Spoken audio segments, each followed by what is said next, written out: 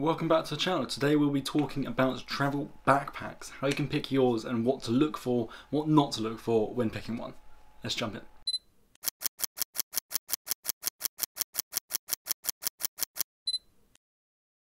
I actually think picking your backpack is one of the most underrated things when it comes to traveling because it's actually low-key so exciting. So you're going to be living out of this bag during your travels, so it's really important that you make sure it's comfortable and it's going to last you. They're the two main things that you need to look for when picking your travel bag. Now this video is going to be specifically aimed at picking your travel bag for clothing and everything. This isn't going to be camera bag related. I'm going to do a separate video on how to pick your travel camera bag if you're a photographer. I am a photographer. I took a travel camera bag and a travel bag with me while traveling for six months around Southeast Asia, Australia and New Zealand. So when I went traveling, I took a camera bag, which is my Wandrd Prvke 31 litre, and I took a Mountain Warehouse 30 litre backpack. The Wandrd was purely for my camera kit and my tech, being my laptop, my chargers, everything like that.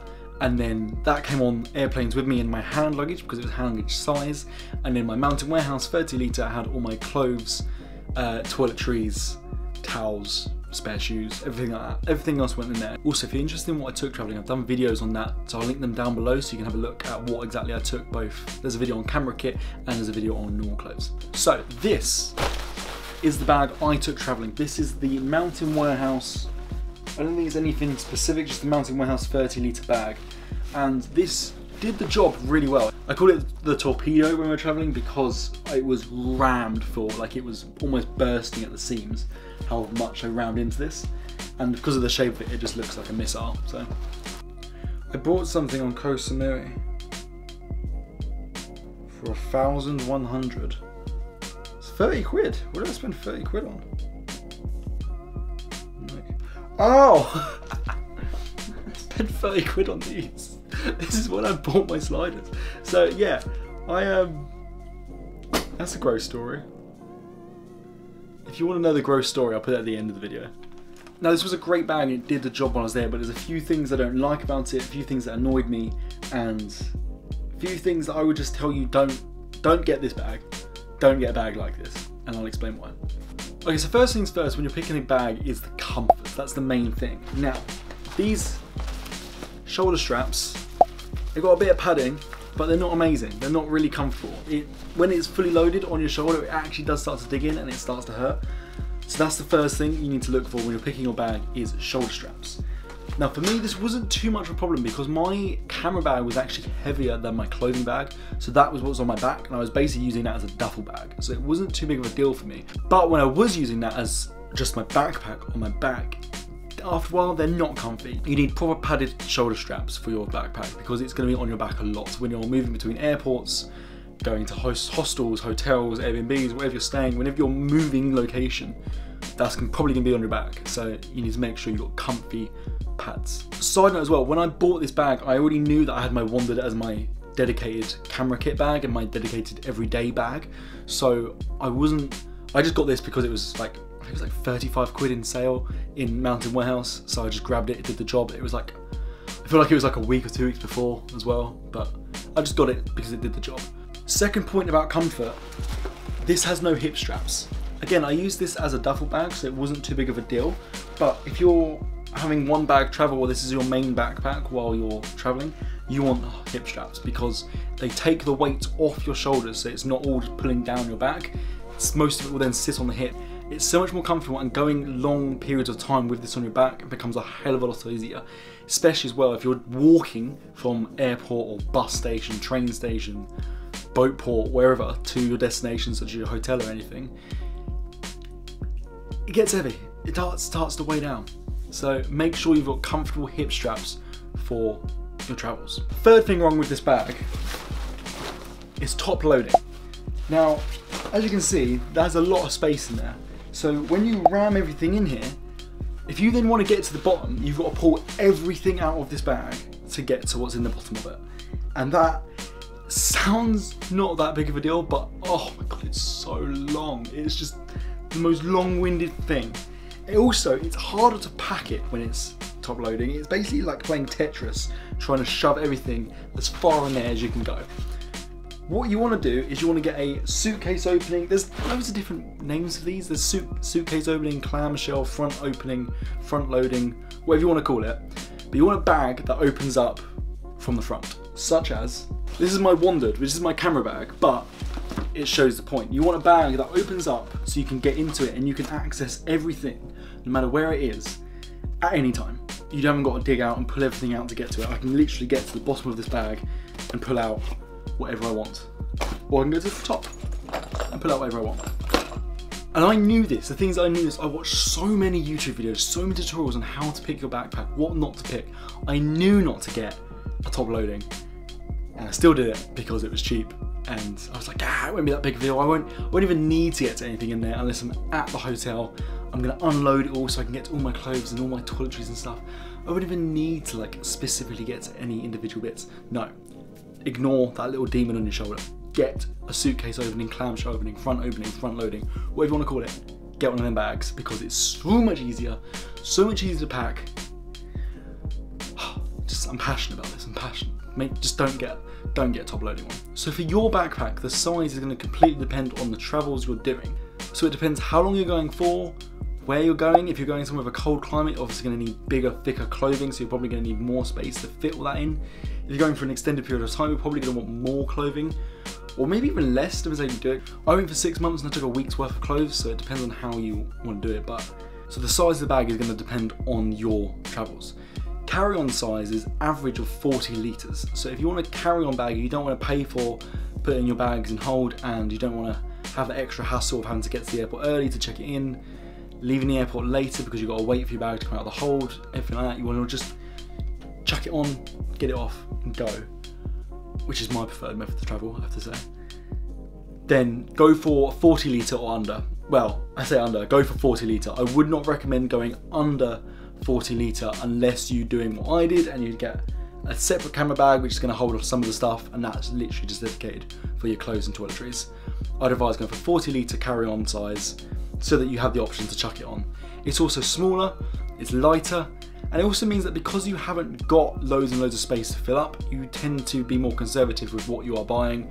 If you do buy some stuff, so I bought a few t-shirts out there, you throw a few t-shirts away. It keeps you lightweight. If you are looking for something bigger, if you're going for a bit longer, I would advise probably going, wouldn't go any, any bigger than 60 litre. Probably wouldn't want to go past 50 litre. There's a really good mountain warehouse bag that I'll link below, which is a 60 litre. Comes with an attachable day bag as well. So the day bag is a 20 litre which comes off. Wait, is it 60 litre? I think it was a 60 litre plus. Yeah, so I'll link this down below. It's a 60 litre traveller bag with a 20 litre detachable day bag. And the 20 litre one, obviously you can put in what you want to take on the plane, you can take it on the plane, and you chuck in your 60 litre underneath. That is loads of room almost too much room in my opinion. But the good thing about this bag, and I would, I wish I'd got this. Uh, do I wish I'd got it? Don't know if I'd say I wish I got it, but if I, okay, if I wasn't a photographer, I would get this bag because it's affordable and it's great. But I am a photographer, so I have a dedicated camera bag, and the camera bag is not going in hold. I will fight to the death on that. It's not going in hold. I have had arguments with flight attendants because they wanted me to put my camera bag in hold. It's not going in hold not going in hold. But yeah, 60 litre, plenty of space, loads of room. If you're someone that needs to take more stuff, or if you're going to a colder environment, or maybe if you're even a couple, you could probably fit two people's worth of stuff into this bag. But also, if you don't, it's got zips and straps so you can squash it down. So that you don't have to use 60 litres, you can squish it down to however much is being used, and then you've got that extra space if you want it. So, but that's the absolute max I would go to is 60 litre bag probably personally wouldn't want to go over 50. I was fine with 30, though as I say it was tight, but it's because I have my camera bag as well. I would probably go for 40 litre. In fact, next time I go traveling, I will probably get a 40 litre, 35, 40 litre clamshell opening bag. I need to pick a name for that because I keep swapping between all of them. Clamshell opening bag as my clothing and toiletry stuff. And obviously I have my dedicated camera bag, which will probably still be the Wandrd because this thing is amazing. I've had this for two and a half years, I think. Amazing, I love this bag, still going strong, fantastic. So yeah, so it depends on your trip, it's depending on the size, but I would personally advise 40 to 50 litre bags. Okay, a couple of other little points here. Make sure your bag has uh, zip locks, or has the ability to hook a lock through the zip, because thieves. You're going travelling worldwide, theft is a problem, it's a issue, it's something that happens. So you just want to make sure you're locking up your bags, especially when they're not in your sight, because you're putting them on a plane, coming off of hold luggage, whatever, you want to make sure they're locked up. Also your carry-on bags, I'd advise locking up as well. Obviously that being my camera bag, that was had a padlock on it pretty much all times. So make sure you make sure the bag you get does have the ability to put padlocks onto the zips, and make sure you get some padlocks. On the note of padlocks, don't buy cheap padlocks because I bought cheap padlocks and they they literally they locked and they never unlocked. I had to break them off my bag and they were so easy to break off. It was disgusting. So get some proper TSA approved padlocks. Definitely. Another little point is get one with a rain cover. Well, another little point is either get a bag with a rain cover or get one that is rain or weather resistant. So this one, one of the good things I do have good things to say about. Stuff just fell out the bottom of the bag. So if you've ever been, this is so random. If you've ever been to Thailand and you have been to 7-Eleven, you'll recognize these things. You can collect them and then you can trade them in for was it money? I think you could trade them in for. I think you got like you got some money if you traded this in or something. That is hey, that's an Australian five cent.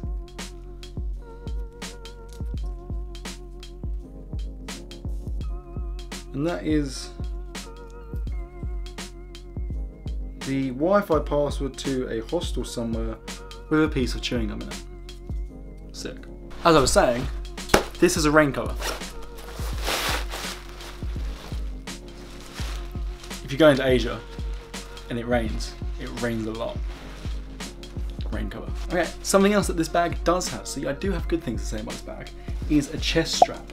These things literally just go across your chest, they go attached to the, to the shoulder pads, zip them up, and then that also takes some more of the weight off your shoulders. It stops you pulling your shoulders completely back. Um, it just makes it, a bit, when it's loaded up, it makes it a bit more comfortable. And then that combined with the hip straps. Oh, I've just realized this has, okay, so look at this.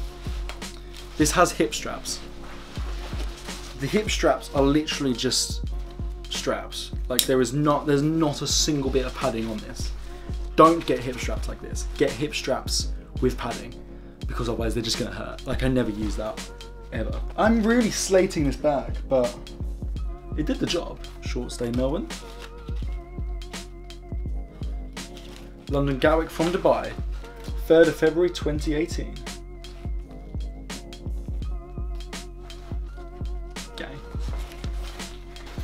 Anything else in this? Ooh. What's this?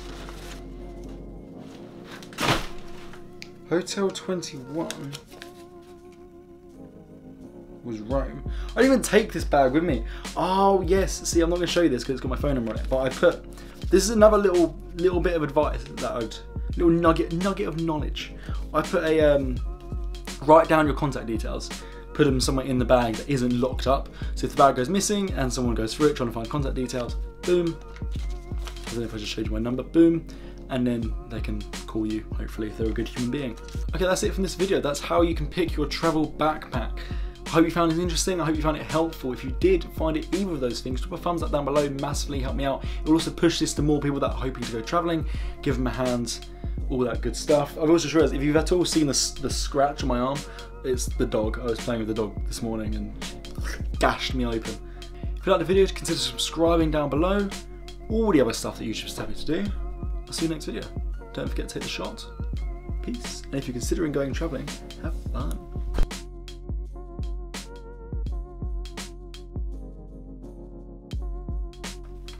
So the gross story is that I was wearing, I took a pair of sliders with me and I was wearing them every single day because I spent the first three months of the trip in Asia. So it was hot, sweaty. I wore them in the water, I wore them in the sea. I wore, they were just, they went, they got abused and they were pink sliders and they were, they'd gone pink, orange from just sweat and minerals of life over the three months of Asia um, to the point where they absolutely stunk. I tried washing them multiple times, but these things stunk out the room. I had to leave them outside, like on balconies or outside the room or something, or in, wrapped up in a plastic bag.